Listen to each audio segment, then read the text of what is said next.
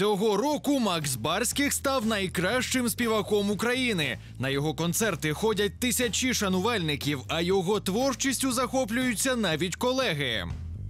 Його останній період є такий танцювальний, позитивний, драйвовий, класний. Мені подобається. Макс очень старается. И Макс как раз тот человек, который очень много работал и потом получил результат. Але чи правда, що здобувши довгоочікувану популярність, Макс Барських вирішив змінити ім'я та назавжди переїжджає до Америки? Это все превращается в рутину, в определенную. И это уже не приносит мне такого удовольствия, как приносило раньше.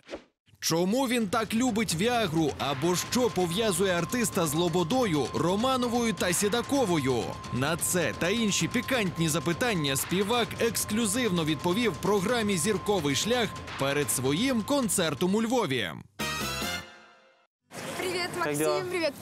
Очень хорошо. Рад видеть тебя во Львове. Мы просто не можем словить тебя в Киеве, поэтому решили приехать к тебе на концерт во Львов. Мне приятно.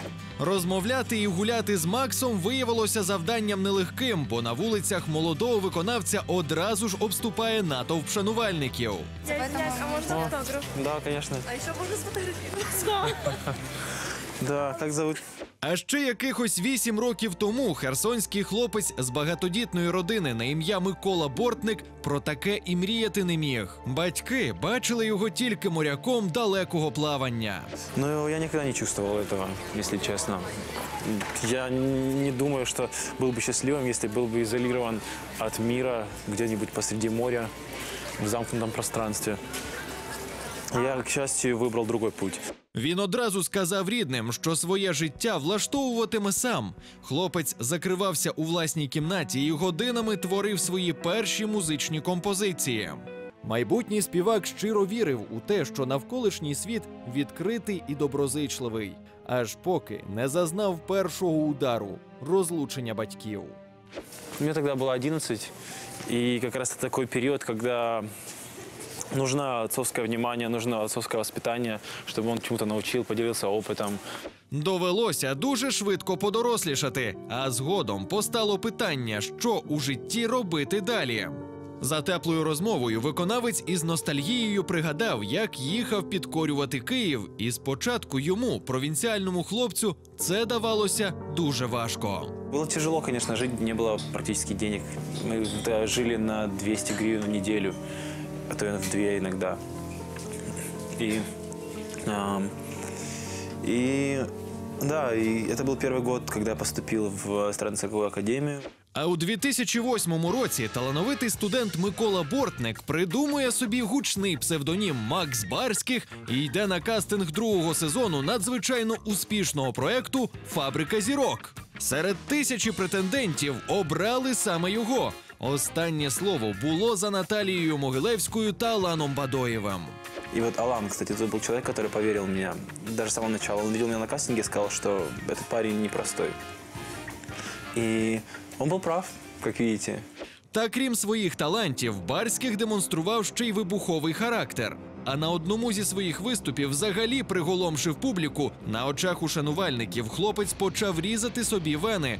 Потім зізнавався, що від нерозділеного кохання на проекті він по вуха закохався у співачку Світлану Лободу і навіть присвятив їй пісню. Ничего я поделать с собой не могу Я таю только от слова Вот Это какая-то глупость была, какой-то юношеский максимализм и просто какая-то одержимость. Сейчас э, вернуть время назад, то я бы этого, наверное, не делал. Проблемы, которые происходят в жизни, не стоят того, чтобы уходить из нее. Після вчиненого неподобства і вже за крок до фіналу Макс Барських заявить, що йде з фабрики. Адже він думав, що одразу стане топовим артистом, а натомість попереду чекали погрози і розчарування. Керівники тодішніх музичних каналів в один голос застерегли за таких обставин ім'я Макс Барських ніде і ніколи не звучатиме.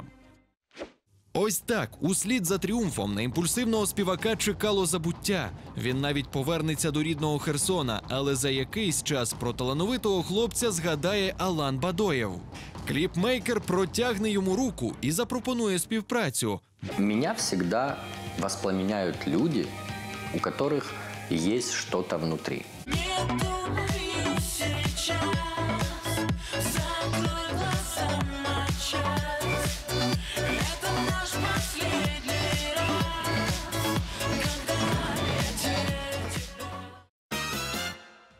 Після гучної історії з колишньою учасницею Віагри Світланою Лободою усіх шанувальників хвилювало питання, з ким же цей красунчик зустрічається.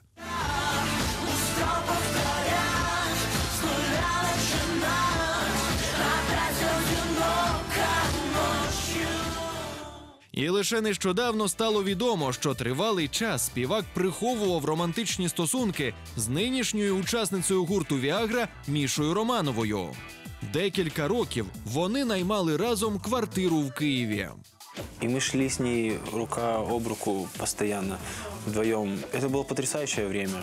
Вот. Потом, конечно, спустя время все начало меняться, мы начали меняться, и сложно, конечно, особенно в современном мире, выдерживать какие-то длительные отношения. Макс Барських і Міша Романова тепер лише друзі. А от нові стосунки, каже співак, йому дуже важко зав'язати. Давно не влюблялся, уже с возрастом как-то тяжелее и тяжелее найти более идеального человека, который бы мыслил так, как ты, или был бы с тобой на одном уровне мышления или мировоззрения какого-то. Ты мой герой,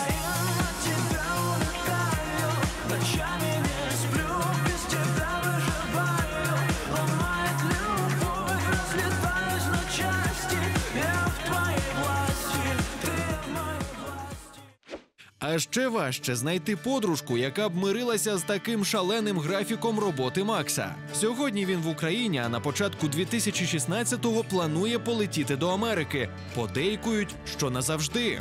Ні, це неправда. М, Я люблю путешествовать и хочу путешествовать по миру. Понимаю, что это место, в которое ты попадаешь, и ты чувствуешь себя как дома. І навіть в Америці не обійшлося без Віагри. Співачка Анна Сідокова сусідка барських в Америці. Балконы практически рядом, через один. Да, и было мило. Мы когда-то с ней собрались вдвоем. Она меня накормила оливье американским. Было очень мило. Та перед від'їздом співак підготував для своїх шанувальників ще один сюрприз, знову змінивши своє сценічне ім'я на Міколай. Своим настоящим именем. Музыка немножко другого стиля, другого жанра, чем Макс.